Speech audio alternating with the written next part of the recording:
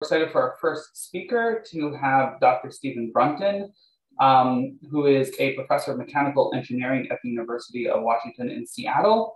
Um, in addition to all his work on data-driven dynamics that he'll talk about, to us about today, he's also very well known for his lectures and his books on dynamical systems. So um, they're really a beautiful set of lectures that are all up on, on YouTube. Um, so, um, you know, thanks for giving those to the community.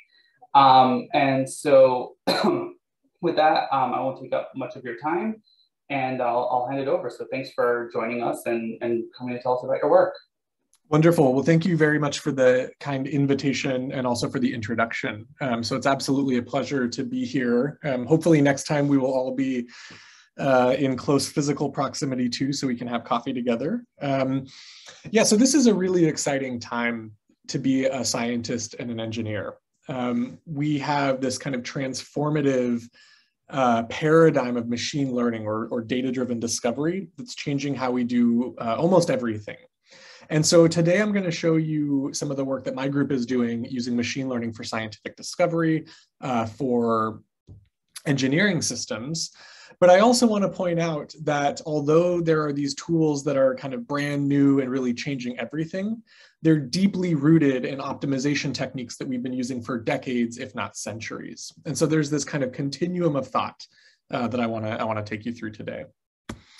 And uh, before starting, I want to acknowledge my many excellent co-authors, collaborators, uh, and colleagues in this work, and especially in the middle row, the fantastic postdocs and grad students who did most of the work I'm going to tell you about today. Um, so if I get a really hard question, I'm going to kick it to them. Um, and usually this is where I like to start out because, um, you know, depending on the audience, we might have, um, you know, engineers, dynamical systems people, machine learning people, computer scientists, and I want to get everyone on the common footing early. So I view machine learning, uh, if I want to pigeonhole or, or put an umbrella around machine learning, I would say that this is essentially building models from data using optimization and regression techniques. And again, that is a tradition that goes back decades, all the way back to Kalman in the 1950s and 60s at least, probably hundreds of years before we've been building models from data using optimization and regression. Think about the planetary motion of Tycho Brahe and Kepler and Galileo.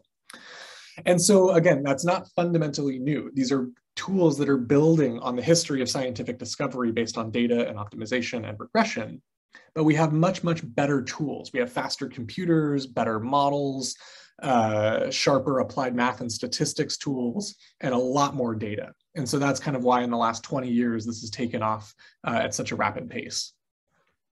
And today I'm going to talk specifically about how machine learning can be used for dynamical systems modeling. Uh, these tasks in blue are the tasks I think about on a daily basis. And so I'm going to give you examples from fluid mechanics because that's kind of my passion uh, and the applied field of, of uh, that I've chosen as fluid mechanics.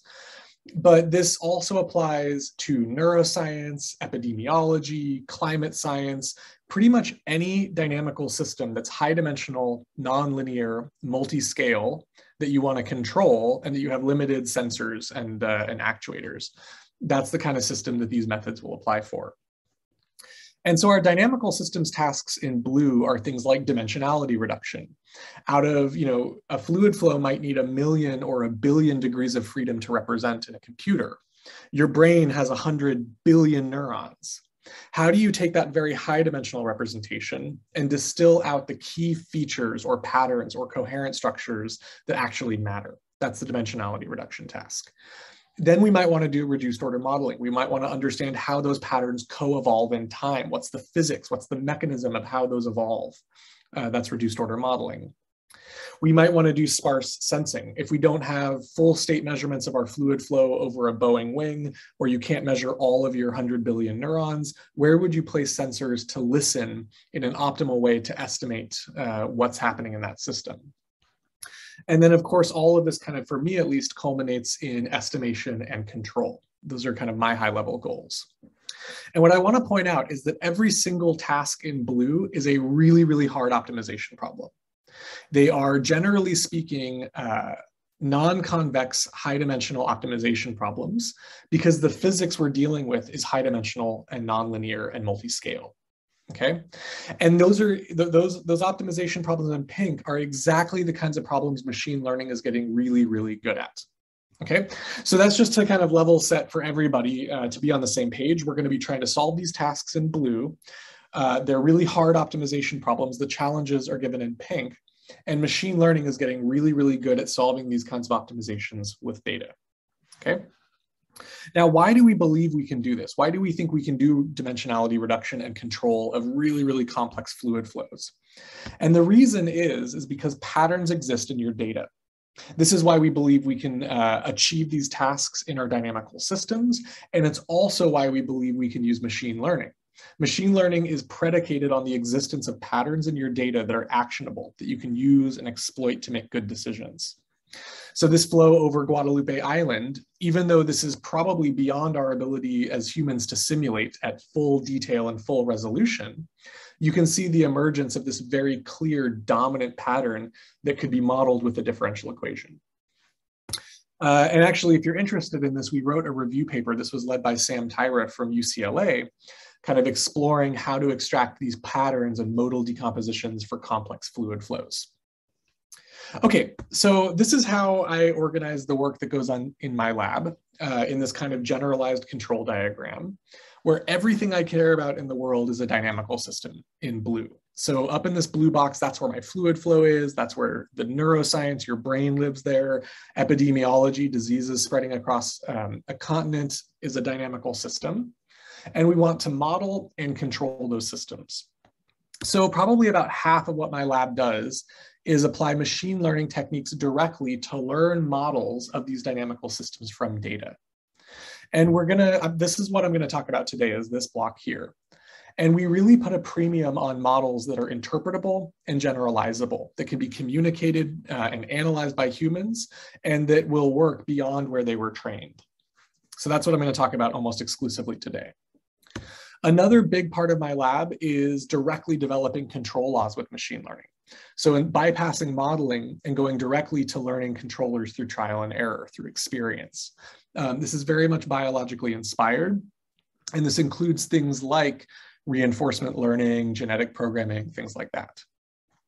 And then the third kind of major um, part of my lab is learning efficient sensor and actuator locations for optimal estimation and control of these complex systems. And again, uh, this is this is biologically inspired work. Actually, I work on this with my wife, um, my, my spouse, Bing Brunton. She's a neuroscientist. And so together we think about how uh, animals like these, this flying insect, this moth, uses strain sensitive neurons on their wings to inform their flight control decisions. This is really fascinating work. Um, it turns out that every flying insect has on the order of 10 to 100 strain sensitive neurons on their wings. And they can react to gusts in the wind faster than that sensor information goes to the brain and back to the muscles. Which means this is proof by existence that they're doing local computations in their sensors and in their shoulder muscles. And this is the kind of capability we as engineers would want to have this kind of uh, distributed local sensing and actuation and computation. And I'm just going to give a teaser because I'm not going to talk about this today, but just a teaser that the same mathematical architecture you can use to discover and understand sensing on insect wings, you can use to help uh, aircraft manufacturers make and assemble and design their wings. And so this is a really cool uh, translational science story. If you're interested, I, I encourage you to read this paper by Krithika Manohar, where essentially we use this sparse sensor technology to dramatically streamline uh, a manufacturing process at Boeing to uh, when they're assembling their wings. And currently this technology is in production right now on the 787, 777X, and 737 MAX, estimated savings in the hundreds of millions of dollars, which is crazy. Like you almost never think that your applied math algorithm is actually gonna be in a factory someday. Okay, so that was just a teaser, but today I'm going to talk almost exclusively about building interpretable, generalizable physics models from data. Okay, and this is really kind of a passion of my group, and there's really exciting things happening every day in the field uh, in this in this topic of modeling dynamics. So I'm going to start off with a vignette um, or a, a, story about this um, this great work by Jared Callaham, who's my my PhD student, on automating this process of dominant balance uh, approximation. And so dominant balance is actually for a lot of the young people in the audience, you might have never heard of dominant balance, but it's really, really important. It is the cornerstone of asymptotic analysis. And this is where most applied math departments in the United States uh, were born, actually. So a lot of applied math departments in the US were born out of aerospace engineering departments because the asymptotic analysis, the dominant balance analysis became so mathematically involved, they needed a whole department uh, to solve these problems. This is in the 1950s before computers. And so the idea is if you have a really complicated uh, physical equation like the Navier-Stokes fluid flow equations, which in three dimensions has a lot of terms, like you know more than 50 terms, what you could do is make physical arguments that in certain regions of space and time, some of those terms of the equations are unimportant, nearly zero, and can be neglected, while other terms in the equation are going to be large and active and in a dominant balance with each other. They're balancing the equation. And so what we wanted to do was see if we can use machine learning techniques to automate this procedure of finding these dominant balance regimes in, in physical systems. So we're going to warm up on this uh, boundary layer. This is the Johns Hopkins turbulent uh, boundary layer dataset, open source, so you can download this and try it yourself. The first thing you would do with a boundary layer problem like this, or like a fluid flow, is you might take a two-dimensional slice in the midplane and average in time to get the Reynolds average Navier-Stokes equations. And this equation has six terms. This is kind of a warm-up to explore dominant balance. There's six terms, and the hypothesis is that in certain regions of space, some of these terms will be active and balancing, while others will be approximately zero. And so what Jared realized is you can actually compute each of these terms for every point in space.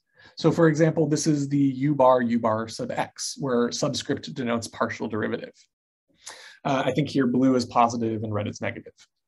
And you can do this for all six terms in the equation. You can get six fields, spatial fields, one for each term in the equation. And already you can see that there are certain regions where some of the terms are, are large and balancing, while others are zero or approximately zero, uh, denoted by black. And so what you can do is for every point in space, there are six unique numbers specifying that point given by these six terms of the equation. So every spatial point has six numbers, and you can plot all of those spatial points in the six dimensional equation space, where each axis is a term of the equation. So this is, um, this is the data represented in equation space. These are two-dimensional slices. And every white point is, an, is a point in space corresponding to my boundary layer. So already you can see that the data lives apparently approximately in subspaces. There appear to be these subspaces that, uh, that the data lives on. And so what Jared did was applied relatively simple clustering. This is a Gaussian mixture model to segment the data up into clusters.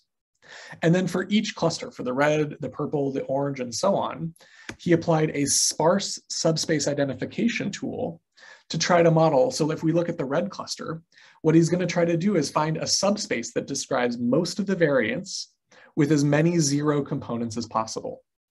Same with blue, purple, green, and so on. And so in doing so, you can see that each of these clusters is described by a subset of the physics of the original full equation. So the red uh, term, the red equations only need two terms, the blue only needs another two terms, and so on. And because every point uh, in this scatter plot corresponds to a, a point in space, you can replot these regions back in the boundary layer. So on the bottom, you can see my boundary layer color coded by what subset of the physics is active in those regions. And this recapitulates 100 years of boundary layer theory. This is completely automated from, from data. You learn that there is a viscous sublayer, an inertial sublayer, a transitional region, and so on and so forth, purely by just looking at what terms are large and active in what regions of space. Very cool idea. One of the things I'm excited about is that you can apply this any system you have where you can compute derivatives and you have data and you have some idea of what the equations are, you can start to compute these subspaces and color code your, your space-time diagrams by what dominant physics is active. So if we only did this to rediscover the boundary layer, that would, that would be kind of cute, uh, but not really useful. So since then, we have applied this to a lot of other systems where we didn't necessarily know the answer. Uh, like the super continuum uh, high energy laser problem, where we essentially learned where the nonlinearities are localized and what the mechanisms are driving these, uh, these, these lasers. We've applied this to geophysical flows like the Gulf of Mexico to find different uh, kind of balance laws where different weather uh, patterns would be observed, kind of different local physics. And we're also applying this to neuroscience systems, uh, both single neurons, but also um, kind of brain imaging, spatial temporal brain imaging. And again, in all of these cases, if you have data that is um, that you can you know approximate derivatives in terms of the equation, you can compute these subspace regions and color code your, your regions of space. So these are highly interpretable because a human can understand that these different colored regions correspond to different subsets of the equations. You can analyze these, you can do matched asymptotics, you can do all of the things that applied math departments have been doing for the last 70 years. Um, that, that I think is kind of exciting. So this is, uh, you know, fresh off the presses, and I, I, you know, highly encourage people to download the code and try it out if you have spatial temporal data. It's really cool. Okay, for the, the second half of the talk, I'm going to switch gears a little bit. We're still going to be talking about building interpretable models of dynamical systems, but now we're going to be talking about building kind of reduced order models uh, for complex systems like this. So this is a fluid flow in the wake of a transportation vehicle. Um, this is real experimental data from my colleagues uh, in Germany, Richard Semaan at TU Braunschweig.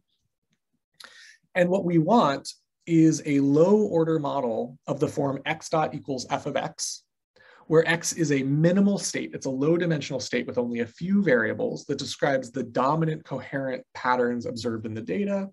And f of x is the simplest dynamical system that describes how those patterns co-evolve. And these kinds of models would be very useful for understanding, for prediction, estimation, and control, and, and also for design of these systems. And again, if you're not interested in fluids, that's totally fine. You can replace this with data from a brain or you know, data from a disease spreading across a continent or whatever high dimensional dynamical system you're interested in. I'm guessing reduced order models would still be useful for you. Okay, before I show you the results of how we actually do this, I'm going to give you a little bit of our philosophy on what kinds of models we want as engineers and scientists. And I can't emphasize this enough. This might be the most important thing I'm going to tell you today um, is just kind of this uh, connecting what we do today with machine learning with the centuries or millennia old pursuits in scientific uh, discovery. So we need machine learning models First of all, we need machine learning models. Most of the systems we care about are too complicated to write down the physics by hand. So we need machine learning models for the brain, for turbulence, for diseases. That's a given. But we need machine learning models that are interpretable and generalizable.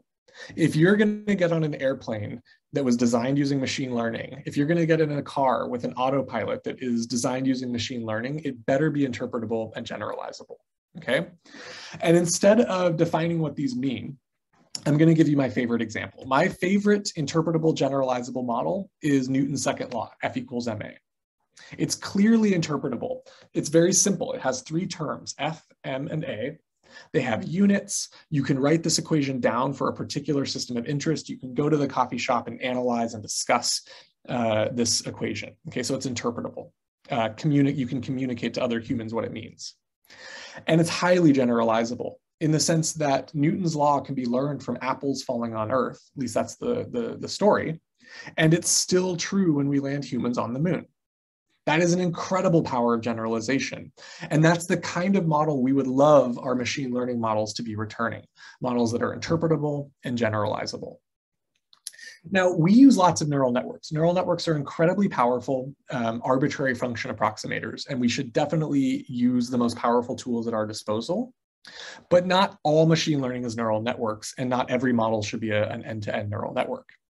So for example, I can take videos of apples falling. If I had 5,000 of these videos, I could train a neural network to generate brand new videos of new apples falling that you've never seen before that would fool all of us in the audience. But that machine learned model, that neural network that generates movies of apples is not going to be useful when we land humans on, the, on Mars. Okay, we need something more like F equals MA for lots of engineering. And this is not just F equals MA. This has been a principle from Aristotle to Einstein for, for 2000 years, this has been the principle that we have used as the gold standard for what is known as physics.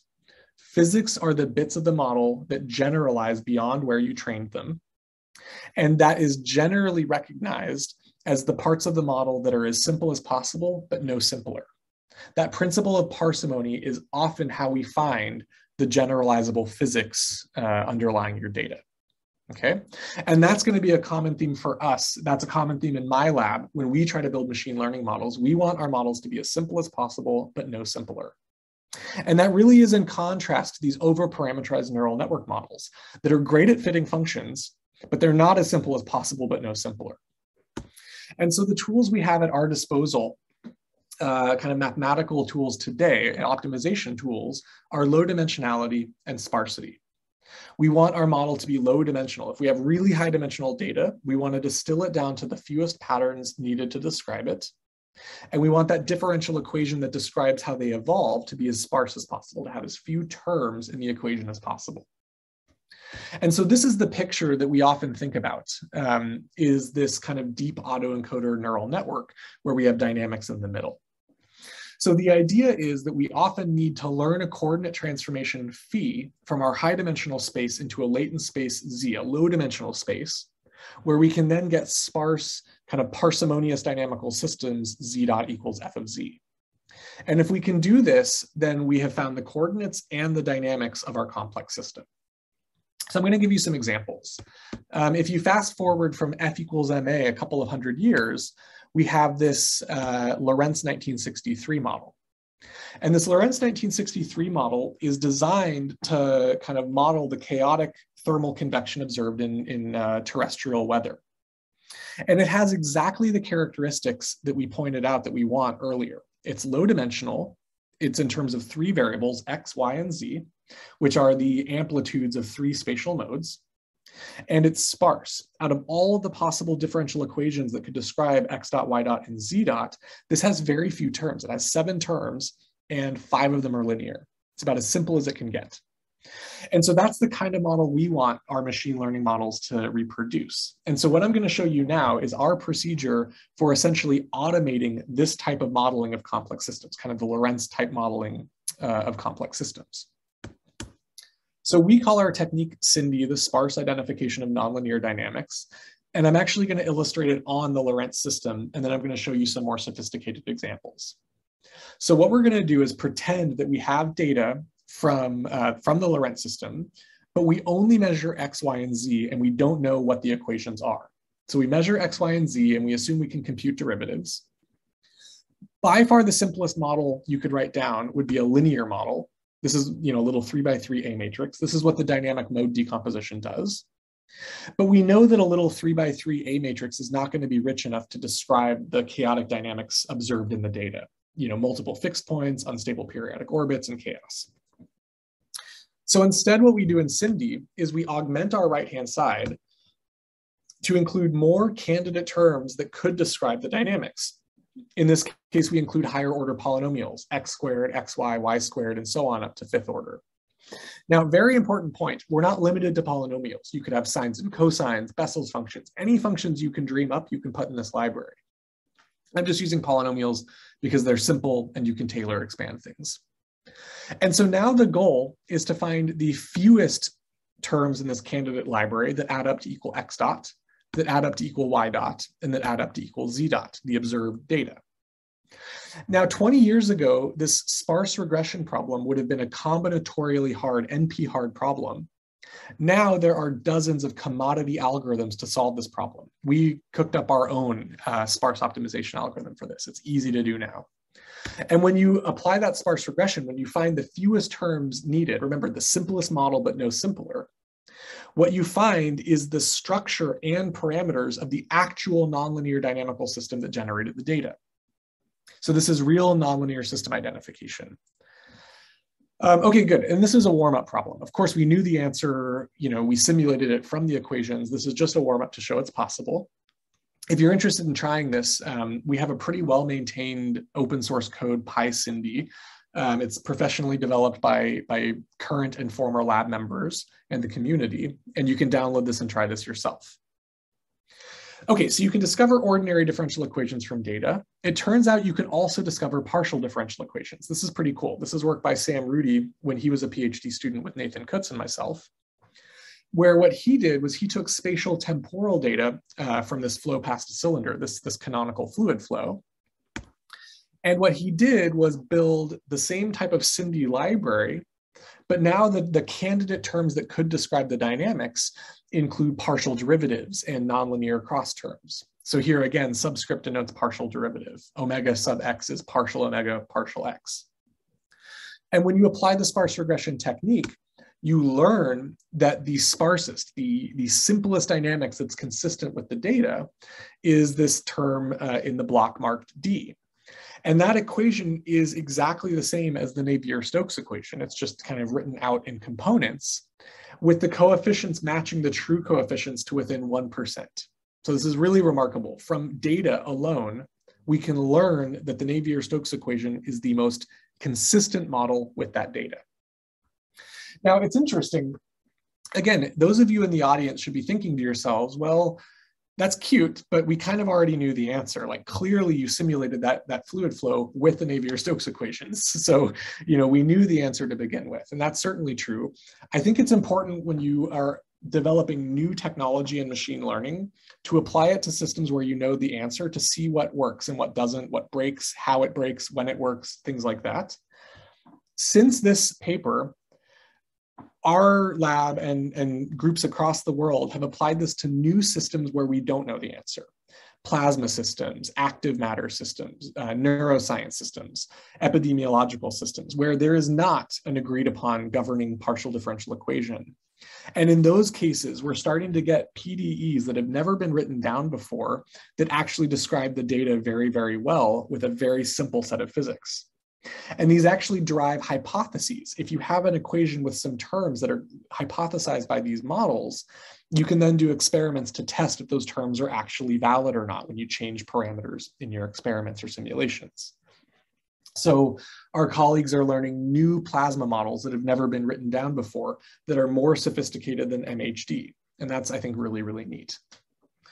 Um, because spatial temporal data is so rich, this is just a subpoint, you can get away with massively subsampling your data, and there's still typically enough data uh, to identify these models. Okay, good. So um, what we've talked about so far in SINDy is that you can learn dynamics from data. So this is kind of a paradigm for learning interpretable, generalizable dynamics from data. They're interpretable because they're sparse. They're generalizable because, again, you're modeling with as simple a model as possible, but no simpler. And so typically you end up learning the correct form of the equations that generalizes to new scenarios. Uh, and those can be ordinary or partial differential equations. So again, for the Lorenz system, we learned you know, systems like the Lorenz equations. For fluid flows, we learned things like the Navier-Stokes equations. Um, you can also do a third path, which I think is really exciting, which is if you have this fluid flow, I might not want a, a PDE. I might want something more like the Lorenz equations. And so what I can do is I can decompose my fluid flow into a set of modes and I can model the amplitude of those modes, X, Y, and Z. I can get a three-dimensional model in terms of the amplitudes. Again, learned directly from data with SINDy. So that's what I'm gonna show you now is that third row of kind of getting reduced order models using this technique.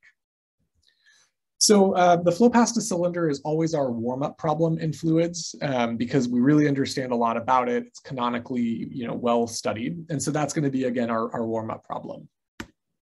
And 20 years ago, Bernd Noack and friends showed us that this is a good coordinate system to represent our cylinder flow in.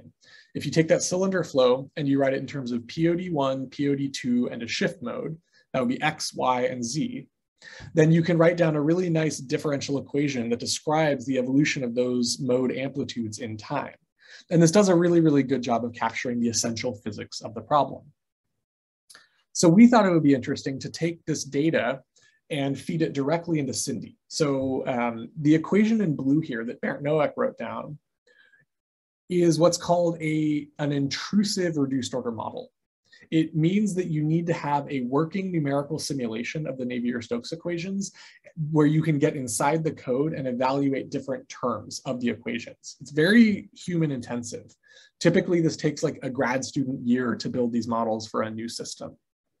And so our method is non-intrusive. We don't need a working code. We just need the data and we need this coordinate system. So if I measure X, Y, and Z, you can feed that into SINDy and you can learn these models in blue with regression alone that capture the essential physics of the system. So this was really exciting for us. This was the first example where we thought, you know, this might actually really be a useful tool um, for reduced order modeling to go beyond kind of the state of the art. And within a couple of weeks of putting this paper on the arXiv, uh, I got an email from John Christophe Loiseau. Uh, he was at KTH at the time. Now he's at uh, ENSAM in Paris. And he had some really, really cool innovations that immediately improved our SINDy algorithm for physical systems. And I think this is super exciting for this community, for the kind of physics informed machine learning community, because this is a great example of how you can incorporate partially known physics into these model discovery machine learning algorithms. And there's a lot of ways of doing this, but this is probably my favorite way. So what JC realized is that when I was doing my SINDy models for the flow, I basically put in as little information as possible. I used a library of quadratic nonlinearities, and that's it. But he said, you know, we actually know a ton about these fluid flow systems. We might not know what the exact differential equation is going to look like, but we know that the system conserves energy because it's because it's an incompressible fluid. And we know specifically that all models of incompressible fluids that are energy conserving have a skew symmetry in the quadratic terms, and that's how they conserve energy. And so with a very simple modification to our algorithm, essentially adding one or two more lines of code, JC was able to enforce these equality constraints that made it so by construction, our models were skew symmetric and enforced uh, energy conservation. And that's a really, really clever way of baking in partial knowledge of the physics, like a symmetry or an invariance or a conservation law into this model discovery procedure. Immediately, we get more stable models with less data. That's a huge benefit too. You can get away with less data when you enforce these symmetries and conservations. The second innovation JC added, which I think is really cool, um, and this is maybe more of a physicist's um, innovation, is that we know the Navier-Stokes equations have quadratic nonlinearities. And so that's what I decided to model. But JC pointed out that if you include higher order terms, cubic, quintic, septic, nonic, third, fifth, seventh, ninth order terms, you can account for neglected low energy model uh, modes in the model that you've truncated but they have a dynamic effect on the variables you care about on X, Y, and Z. And this is related to the energy cascade uh, in fluid flow systems. And essentially what this allows you to do with SINDy is develop a rudimentary closure law um, for, for these laminar systems. So since then, our colleagues have used SINDy to actually build closure models for, uh, for turbulent systems, which is really exciting. So let's see how it works on some prediction problems. So these are two canonical fluid flows, the cavity flow and the cylinder. And in the right column, you'll see this white curve, A delta. A delta is basically the drag. It's some quantity we really care about as engineers and we wanna model accurately as it evolves in time. The yellow and blue curves are the previous industry best POD Galerkin models. These are kind of like those models um, Bernd Noack developed in, in the early 2000s. And you'll see that they're qualitatively okay, but quantitatively, they're not very accurate. They have massive overshoot, uh, steady state error, and they, they have the wrong rise time. The, the instability growth is, is incorrect. But when we use JC's constrained or cubic SINDy models, we get models that are quantitatively almost perfect, in almost perfect agreement with the actual uh, observed nonlinear drag evolution. And that's really cool. You get more accurate models because the regression has some wiggle room to kind of fudge the numbers to fit the data better. But what's even cooler about this is that these SINDy models, again, are sparse by construction. There's only a few terms in the model. So you can go and write the model down, take it you know, on a napkin, take it to a coffee shop in Paris and analyze and play with it. And that's, that's what JC did. And this is the model he came up with for the cylinder. So this model in blue here is the actual model used to get that almost perfect agreement in SINDy with the cylinder flow. And it basically says that the model is a nonlinear spring mass damper. That's what the cylinder flow is. And that's the simplest and most accurate model that, I, to my knowledge, has ever been written down for this flow, which is which is really saying something. This is the most analyzed flow in all of fluid dynamics. And JC wrote down an equation that's never been written down before that is simpler and more accurate because he was able to do that with these interpretable models.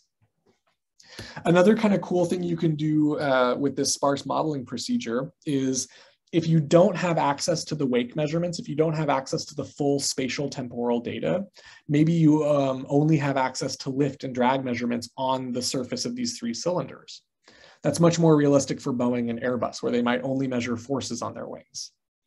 You can actually build these um, sparse models directly on those uh, lift and drag coordinates, which I think is kind of a, a neat thing you can demonstrate. And this actually gets around one of the most fundamental issues in reduced order modeling, which is if I change my wing geometry, or if I pitch or plunge my wing, if I move my wing, uh, or if I change the flow conditions, if I speed up or slow down, all of those things break the previous POD Galerkin models. But if you model based on intrinsic coordinates like force measurements uh, or pressure measurements on the surface of these objects, then you can actually build these models um, across those conditions. So this is becoming a pretty powerful engineering tool for companies like Boeing and Airbus to model things like flutter, instability, uh, and things like that. Okay, so that was the big picture of modeling things with SINDy. Um, and I'm just gonna throw up kind of a teaser, maybe this is for the question and answer. I'm not going to go through all of these vignettes, but we have applied this to a ton of complex systems in plasma dynamics, you know, fusion reactors, electroconvection, uh, turbulent wake measurements. There's a lot of examples. If you're curious, I can go and kind of uh, walk through specifics here. And in all of these cases, what we've been trying to do is develop models of the form x dot equals f of x, where x is a low dimensional state and f of x is as sparse as possible. And that's how we promote models that are uh, parsimonious, kind of this, this Einstein principle of, of the simplest model, model, but no simpler. Uh, we promote that by sparsity and low dimensionality. Now, in all of these cases, what I've shown you so far is assuming that we had the right coordinate system x. So in the Lorenz case, we assumed we measured x, y, and z. In the flow past a cylinder, we use the coordinates that Bernd Noack told us were good coordinates, x, y, and z. But in lots of systems of interest like neuroscience or epidemiology, we don't know what the right low dimensional coordinate system is. So that's the last thing I'm going to tell you about before the question and answer period, is kind of how we discover coordinates for these dynamical systems identification tools. And I really, really like this picture. This has become kind of a standard, standard picture uh, for my group, um, Nathan Kutz and I collaborate a lot, um, and this is a picture we show our, our students and postdocs to kind of uh, build these methods. The idea is you have high dimensional data in X, and you're trying to learn a low dimensional set of kind of essential features in this latent space Z. And this autoencoder network is a really good picture for how we want to do this. So if you used this autoencoder network, what you're trying to do is choke down to a latent space so that you can still reconstruct as much of the information about X as possible. And if this was a linear shallow autoencoder, it would essentially recover the singular value decomposition or the principal components analysis. But if you allow yourself to have a deep multi-layer architecture with nonlinear activation functions, you can get even better coordinate uh, discovery. Even, you know, you can discover manifolds that describe your data instead of subspaces. And so what we do is we combine this power of deep neural network autoencoders with learning dynamics in that latent space, with trying to find these sparse SINDy models in the latent space. Now, I want to again point out that oftentimes, if we just measured X, that that's the wrong coordinate system and there's not going to be sparse models in X. So you need to learn these latent spaces Z. And the picture I have in my mind for this is actually, again, going back to classical, uh, kind of classical scientific discovery you know, this is how the night sky looks to humans on Earth. We're the blue dot in the middle. And when we look up at night for, for you know, all of human history, from, from the first humans looking up at the sky, this is essentially what we see. The stars are simple, but the planets do crazy things. The planets, you know, sometimes Mars turns around in its orbit and goes the wrong direction, goes in retrograde. It's very hard to come up with F equals ma when Earth is the center of the universe. And so if you apply a simple coordinate transformation to put the sun at the center of our solar system, now it's possible to learn the parsimonious kind of dynamical system F equals ma. And this is a really kind of simple uh, illustrative example that if you're in the wrong coordinate system, the physics is super complicated. You, it's hard to get the parsimonious explanation. But if you're in the right coordinate system, everything falls into place okay? And that's kind of our idea for, for a lot of the combination of autoencoder networks with these sparse modeling techniques. And this is what Kathleen Champion worked on when she was a PhD student with Nathan and me, was to essentially learn good coordinate systems Z with autoencoders so that you can get a sparse SINDy model, a sparse interpretable model in that latent space, Z. It turns out this is a very difficult optimization problem. It's stiff, it's challenging. You need extra loss terms, custom loss terms in your um, in your autoencoder, but it is fundamentally possible to learn these good coordinate systems. For example, if you had video, like GoPro footage of a pendulum, you can essentially learn that there is a coordinate system theta theta dot, and that the dynamics are theta double dot equals sine of theta. Okay, that's the kind of thing that Kathleen's SINDy autoencoder can learn. It's not easy, but it is mathematically possible. And this gives you an architecture for simultaneously finding those coordinates and the dynamics. Now, what's really cool is that you can add additional constraints on those dynamics F. I could add symmetry constraints or conservation constraints. Um, I could add those skew symmetry constraints that JC pointed out. But what we could do is go even further and say that in the dynamics in the latent space, maybe instead of sparse, we actually want the dynamics to be linear, which is a lot to ask for. And so it is technically possible in many dynamical systems to find a coordinate system that actually linearizes your dynamics. This is related to Koopman operator theory. And Bethany Lusch, when she was a postdoc with Nathan and me, essentially developed this Koopman autoencoder network that for very, very complex systems will find a linearizing coordinate transformation uh, where your dynamics appear linear. And in that latent space, you can do optimal linear estimation, prediction, and control, again, because the, the system is linear. If you're interested in that, this is again just a teaser.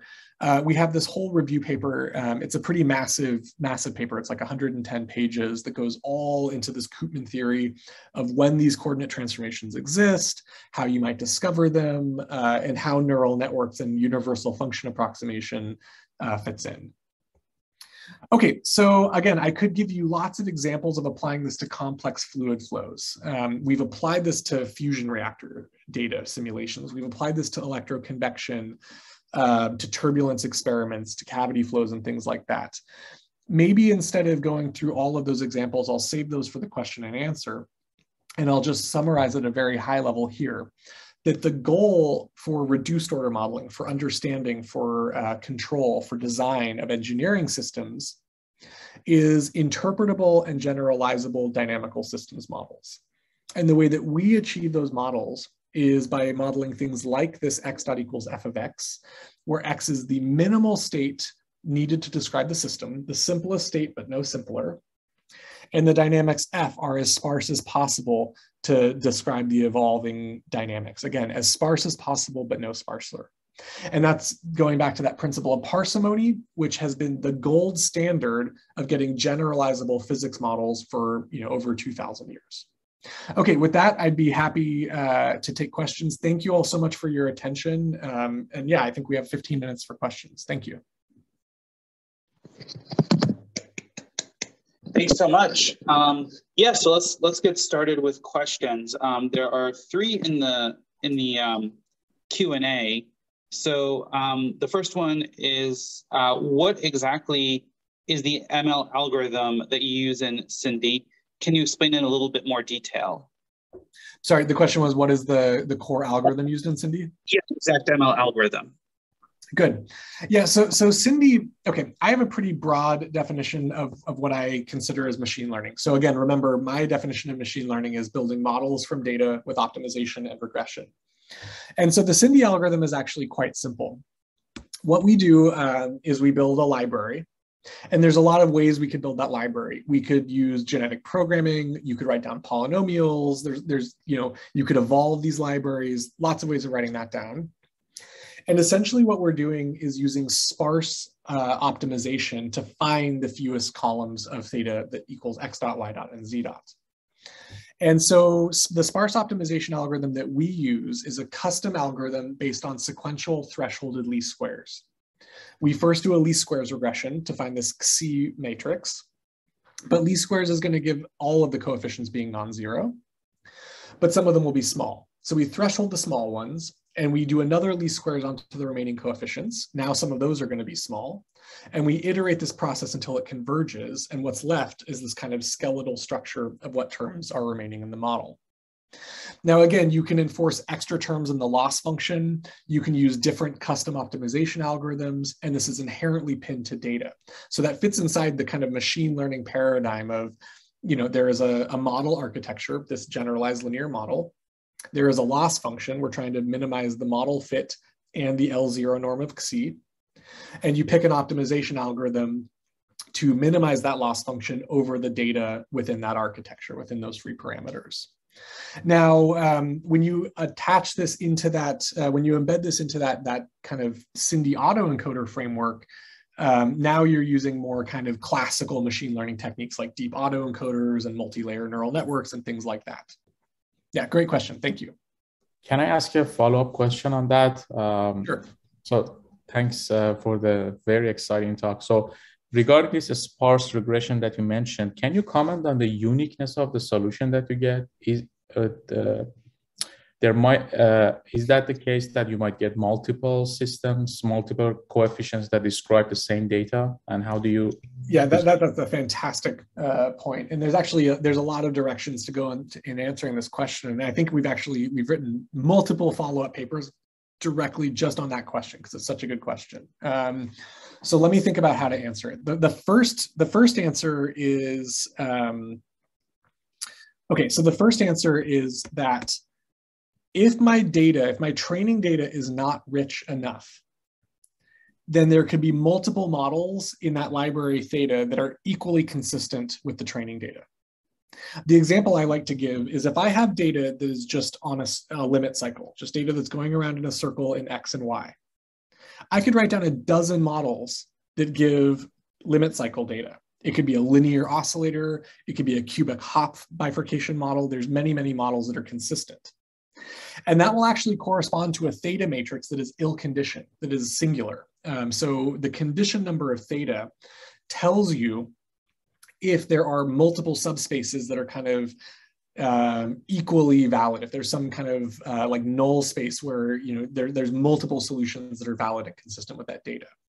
So the first thing we recommend when doing SINDy is to make sure you have a rich enough training data so that the theta matrix becomes better and better conditioned because that will, will disambiguate those, those different models. For the limit cycle data, that corresponds to measuring, uh, you know, maybe I'm at one radius, I'll need to sample at another radius. And if my dynamics are linear, then it's a linear oscillator. But if they're nonlinear, then I can get, you know, the cubic terms from the, the double amplitude uh, initial conditions. So looking at the condition number of theta is really critical and making sure that you're sampling your system in a rich way off the attractor, getting transients, uh, things like that. Which is related to per probably persistence of excitation. Which... It's exactly, it's related to that. Um, it's related to active learning. Um, so there's a, a, ton of interesting directions to take that in. Um, the other thing that I think is really interesting is when you solve the sparse regression problem, there is usually a hyperparameter that tells you how much you care about sparsity and how much you care about accuracy. And so by sweeping through that parameter, you can actually get a family of models that are less complex, um, but less accurate to more complex and more accurate. And so you can actually get a hierarchy of models that do different fidelity descriptions of the data. And in this case, you know, there's really one model that perfectly matches the data. But in the example I showed you with, you know, plasma physics, where we don't really know the true answer, you might actually want that, that hierarchy or that family of multi-fidelity models that kind of do different jobs with different fidelities. Um, so that's kind of the other angle of, uh, of that problem of, of non-uniqueness. Great, great question. Thank you. Thank you. Um, so, uh, just a, a quick um, question while we're on that topic. So um, a lot of that has to do with how well right, a model mismatch or a model match between the terms that you pick to populate this dictionary and the actual dynamics. So if you misspecify the dictionary, right? So if you picked only polynomials, but it was a sine or cosine, right? The right answer is to build the Taylor series for a sine or cosine, but that takes infinite terms. Right. Um, so how do you ensure that, you know, for unknown dynamics that you're including kind of the most relevant? Yeah, great, great, great, great question. Um, so this this is good. This is, these are some of the best uh, and most common questions in SINDy Um, there, there's a lot of answers for this actually too. So polynomial, the first answer is uh, to say that polynomials have been shockingly good. We have been surprised at how good polynomials are, even when we know that they're not the right basis. Again, because of Taylor series approximations. Like they tend to, and this goes back to that dominant physics explanation that even when you have, you know, nasty nonlinearities, oftentimes the dominant balance is, you know, quadratic or cubic or quartic, things like that. Um, and that's time and time again been observed in systems like the Stuart-Landau oscillator and, and things like that. Now, for fluid flow systems, for plasma systems, we actually are really, really fortunate. For spatial temporal systems governed by convection, the nonlinearity is quadratic. And, and so what we expect to get is polynomial models, actually. Like when you Galerkin project, you get polynomial models. And so polynomial models are really good for systems modeling fluid flows, like the Lorenz system, like my fluid flow past a cylinder. So at least in my field, we kind of get an easy pass that polynomials are great for fluids.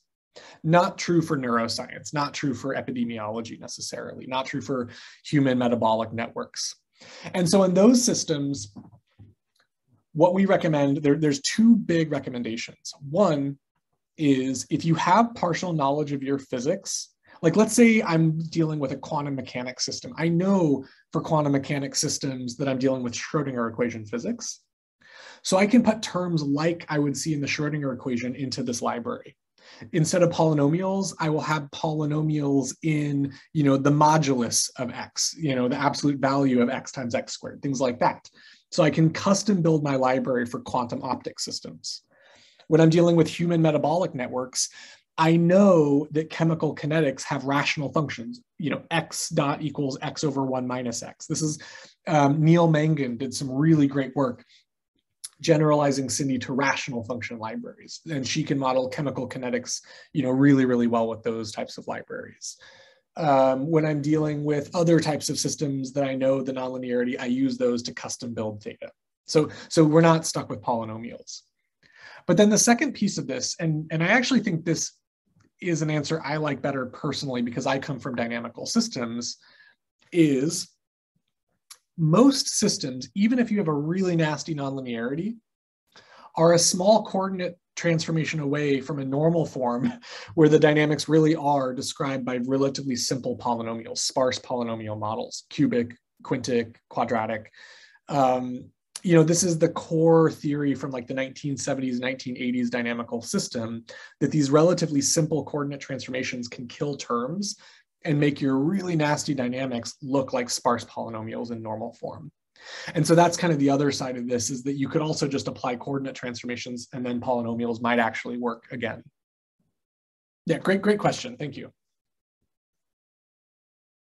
Oh, sorry, I can't hear you. It's muted. Sorry. Uh, great, thank you. So going back um, just to follow up uh, or to just uh, finish off some of these questions in the chat, um, does SINDy, uh, SINDy work for a turbulent flow of high Reynolds number?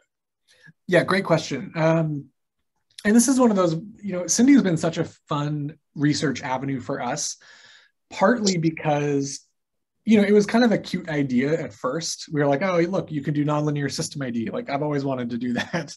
But we never thought it would apply to turbulent fluid flows, right? Like if you had asked me three years ago, I'd say, you know, probably not. There's probably other things you need to do with turbulent fluid flows. In the meantime, we've actually found some pretty powerful ways of applying this to turbulence. One of them is a generalization where you can build stochastic differential equation models like these Langevin equations. So you can build a SINDy model for X, where X are the dominant turbulent coherent structures, but also identify a model for the correlated noise forcing sigma XWT for the all of the truncated turbulence models. Uh, and you know it's a slightly more complicated procedure, but it's it's relatively similar to SINDy. And we've applied this to turbulent wake experiments uh, from actual, you know, very, very high Reynolds number turbulence experiments from uh, George Rigas's lab at Imperial College. You know, Reynolds number almost a million or at, at a million. So really, really turbulent uh, stuff. This paper, um, you know, the, the, the turbulent wake paper is in revision right now, but hopefully will appear soon. Um, the other angle that has allowed us a lot of traction on, on really high Reynolds number problems is again going back to these autoencoder networks. Um, so this is a system where we need 50 or 100 POD modes. It's too big to do SINDy on. But by using some custom knowledge of the physics, we can use these kind of nonlinear autoencoder embeddings to find driving nonlinear model uh, modes that drive the system. And I'm just going to give the punchline. You can basically build a model in two variables, two complex variables, two Stuart-Landau equations and then get all of the nonlinear crosstalk and frequency modulation and you know all of the triadic interactions by using this autoencoder network. So again, two or three years ago, I'd say no, it's not possible. But now, you know, we actually have some tools that are really making traction with turbulence, and not just in my lab. Um, great work by Sarah Beetham and Jesse Capecelatro uh, from Michigan applying SINDy to develop RANS closure models. And also Schmelzer has developed some cool closure models. Uh, Laura Zanna has developed closure models for geophysical flows based on SINDy. So it, so it is starting to be applied in other contexts and turbulence as well. Yeah, cool question. Thank you. Um, great. And so there's, uh, oops. Um, and there's uh, another question that you talked about uh, stochastic dynamics. Um, there's another question here about what about noisy measurements? And I'll also tack on um, something I was curious about, which is how does the discretization of the data versus the continuous time nature of the dynamics play into the accuracy? Yeah, those are those are great questions. Um, that, that that's almost like a whole nother talk about how noise fits in. So so SINDy, the vanilla standard SINDy is is somewhat prone to noise. Um, it's sensitive to noise. It needs clean data sampled pretty rapidly. But there are some really simple techniques you can use to make it much more noise robust. Um, one of them is using robust derivatives, like a total variation regularized derivatives. Another one is to put SINDy into an integral or weak formulation using control volumes. This is what Hayden Schaeffer and Roman Grigoriev's groups have done. That's really powerful. And then Urban Fasel, a postdoc working with us, has recently used ensemble methods, uh, bagging, bootstrapping, uh, things like that, to massively, massively increase the noise robustness. So short answer is, you know, and those are all built into PySINDy, that open source package. So again, you know, that that's a problem that's becoming increasingly solved as time goes on, but it, but it is a real problem.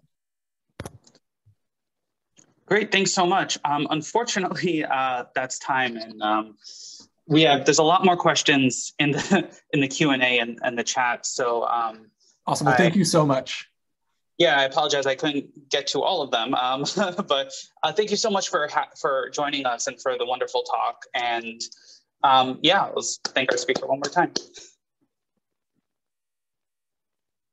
All right, um, Rose. I guess you're next. Um, hi, welcome. Hi. Uh, thank you for joining us. Um, are you able to share your screen? Um, Does it work? Yes, I think so. One second.